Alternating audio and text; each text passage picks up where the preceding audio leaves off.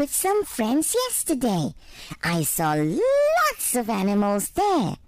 There were tigers, monkeys, bears, giraffes, and lots of other animals too. We will learn more about them later. Let's look at what's lined up for you today. First, we're going to talk about animals. Next, Mr. Hans will come on to teach us something interesting. Then, we're going to learn about words which mean belonging to somebody. Then, we'll sit back and enjoy a story called The Fox and the Crane. And as always, we'll have song time at the end of the program. So, are you ready? Well, let's get started.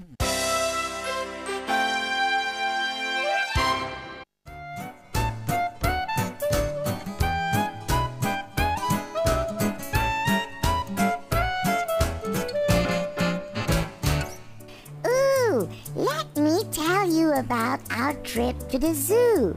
Children, did we have a good time at the zoo? Yes, we did, NAC. All right, now I want each of you to tell me the name of one animal you saw at the zoo. Uh, let's start with Lily. Elephant, giraffe, zebra, monkey, parrot, tortoise. Now, I want all of you to tell me more about the animals that you saw.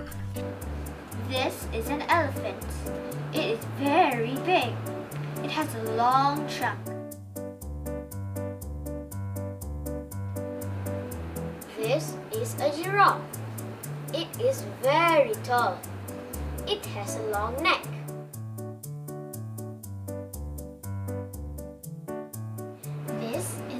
Zebra.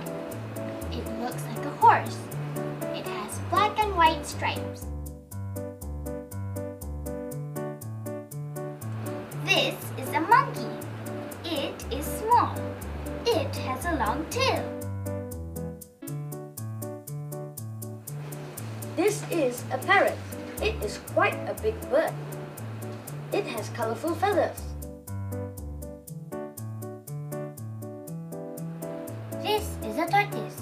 Is big. It has a hard shell. Now, let's try this quiz. I will show you a part of an animal and you have to guess what animal it is. It's easy and it's fun. Uh, Lily, you start again.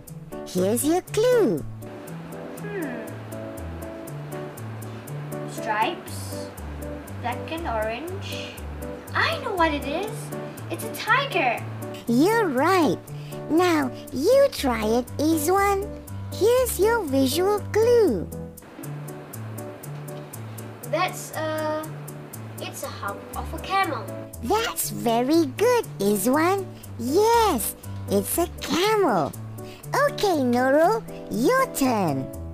Ooh, what a curved sharp beak this is. It has to be a beak of an eagle. You've got it. Now, can you name this animal, Usha? Oh, that's an easy one. It's definitely the tail of a crocodile. You're good, Usha. It's your turn now, Justin. That tail can only belong to one bird. And that bird is the peacock. You're right. Okay, Benji, here's your clue. Oh, that's my favorite animal. Neck, those are the eyes of a panda. Very good, Benji. That was fun, wasn't it? So, why don't you draw parts of animals and quiz your friends with it? Now, let's move on to Spellman and see what mistakes he's going to correct today.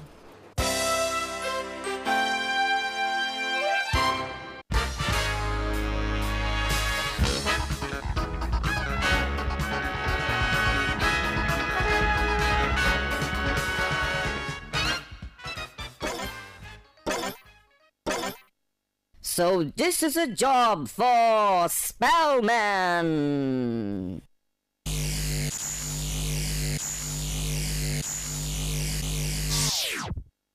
Oh no.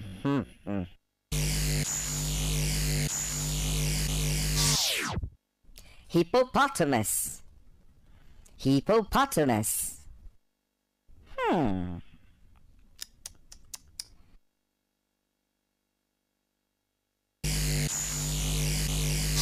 Python. Python.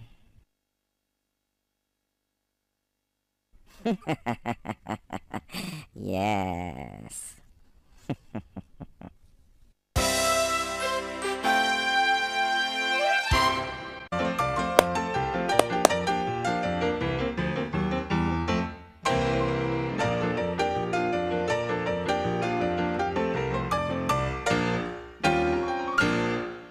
Hi everyone! Today we are going to learn how to make a letter holder. Things we are going to use today are some paper plates, a hole puncher, a pair of scissors, a pencil and ruler,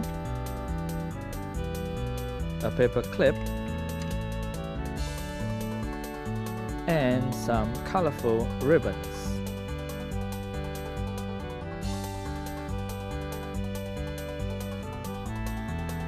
First, we'll start off by cutting one of the paper plates into two.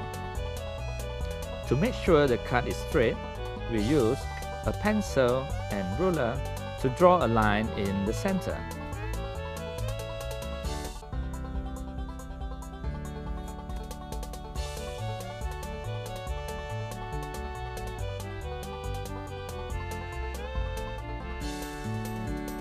Then, we use a pair of scissors to cut it like this.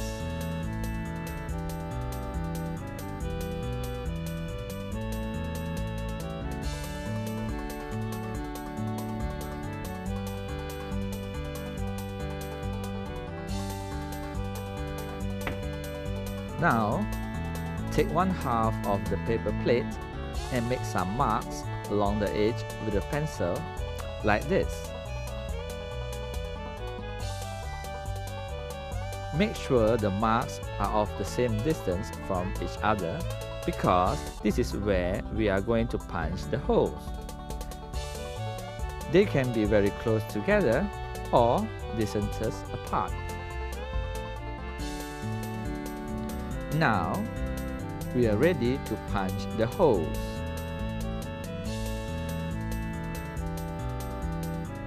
One by one, do it nicely and carefully.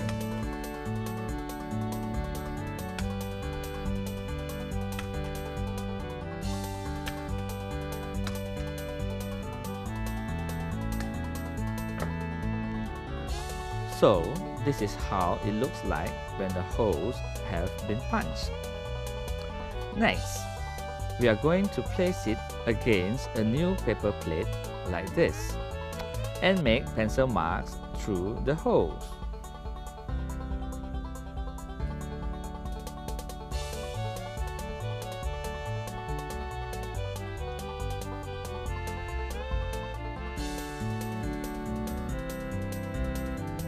We are going to punch holes too on these marked points. Let's do it!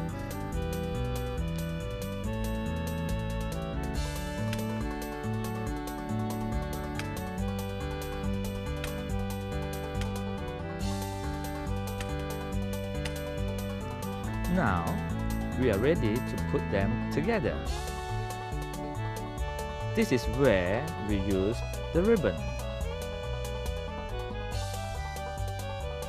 But before that, we are going to turn the paper clip into a needle. It is going to help us weave the ribbon through the holes.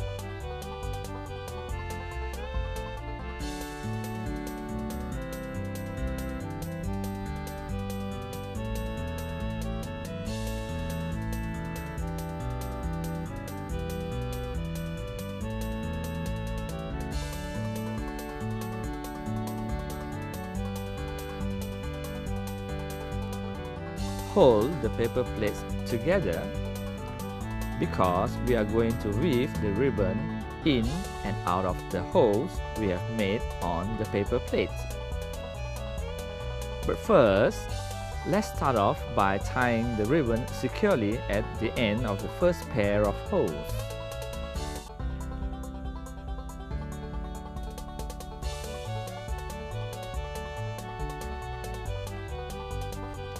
Now we can start weaving.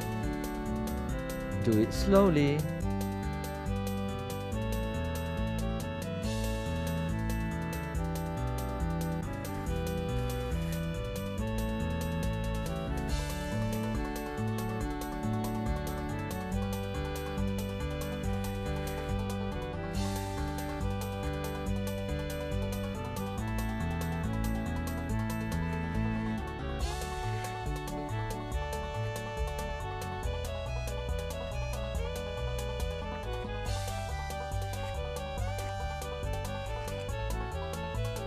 tie the ribbon again and our paper holder is ready.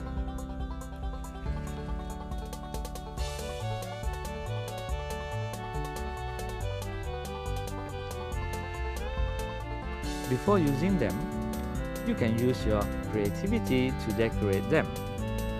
You can use colors, stickers, or any decorative items to make the paper holder look presentable as a decorative item in your home. Besides letters, you can put other things into them too. But don't forget, there must be a hole at the top so that you can hang them. Bye!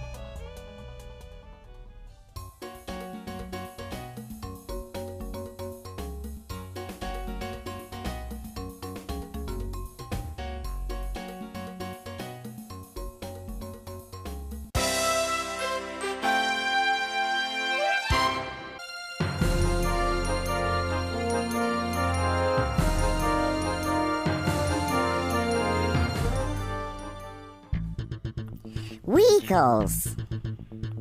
Vehicles. Car.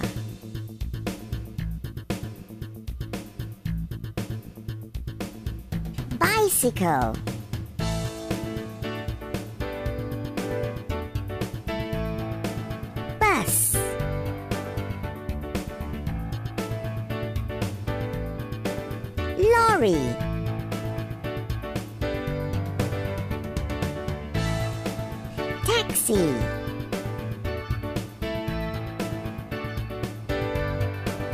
Motorcycle.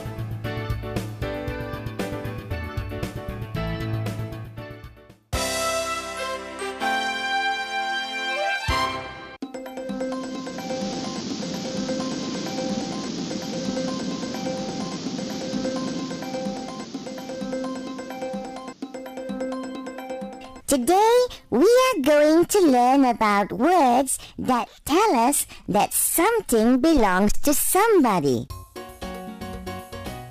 My, your, his, her, our, their.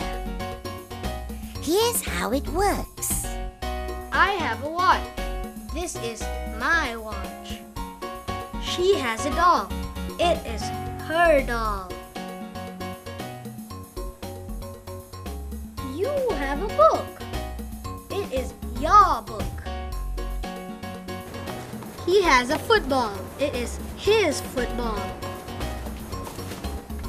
They have a bicycle. It's their bicycle. We have a car. This is our car.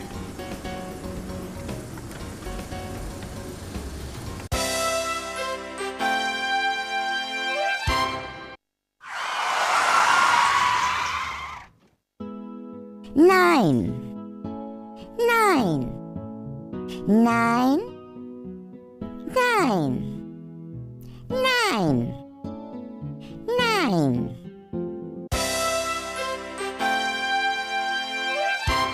We have another interesting story for you today. It is called The Fox and the Crane. It's just for you, so watch and listen. The fox and the crane were friends.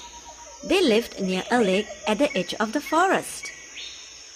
One day, the fox invited the crane for dinner. The crane was very happy. She thanked the fox. At seven o'clock, the crane went to the fox's house. The fox served her soup. He put the soup in a plate. The fox finished his soup. He then licked his plate. The crane tried and tried, but she could not eat the soup. This was because she had a long beak. She felt sad and disappointed. Aren't you hungry, Crane? The fox asked. The soup is delicious. It would be wasted if you do not eat it. Here, let me help you finish it. He added. Quickly, he grabbed the plate of soup and ate it up in one big gulp. The crane knew that the fox had tricked her. She thought of how she could teach the fox a lesson. Thank you for inviting me to dinner, She said. Let me repay you by inviting you to dinner at my house tomorrow night. She added. The greedy fox accepted the invitation. At seven o'clock the next evening, the fox went to the crane's house. The crane served him food in a tall, narrow jar. She ate her food easily. The fox tried and tried, but he could not eat the food. This was because his mouth was not long enough to reach it. He felt sad and disappointed. Oh, don't be shy, Fox. Eat as much as you can. The food is delicious.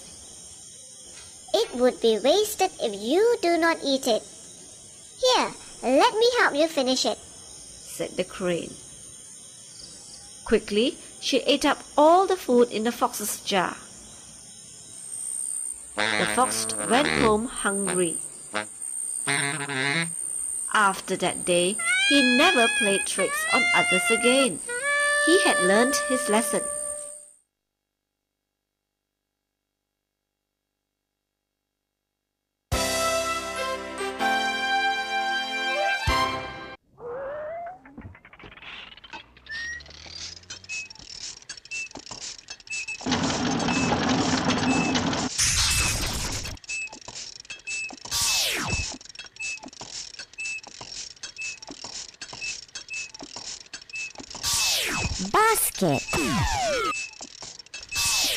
Ball.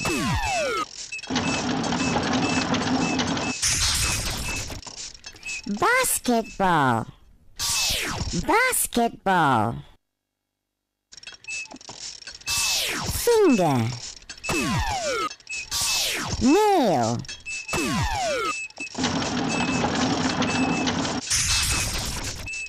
Fingernail. Fingernail. Light. House.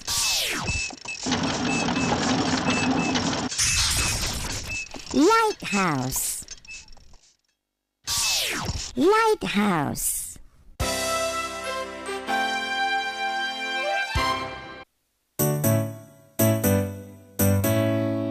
Hey, have you seen her yet? She's so furry, cute and white. Name is Kitty and she's my pet.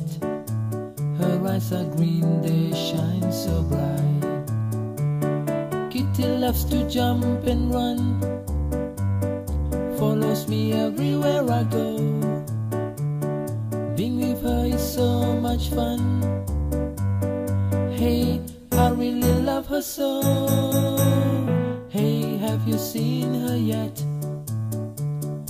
She's so furry, cute and white Her name is Kitty and she's my pet Her eyes are green, they shine so bright Well, we had a lot of fun today. Join me again for another exciting episode of NAC's World. Bye-bye!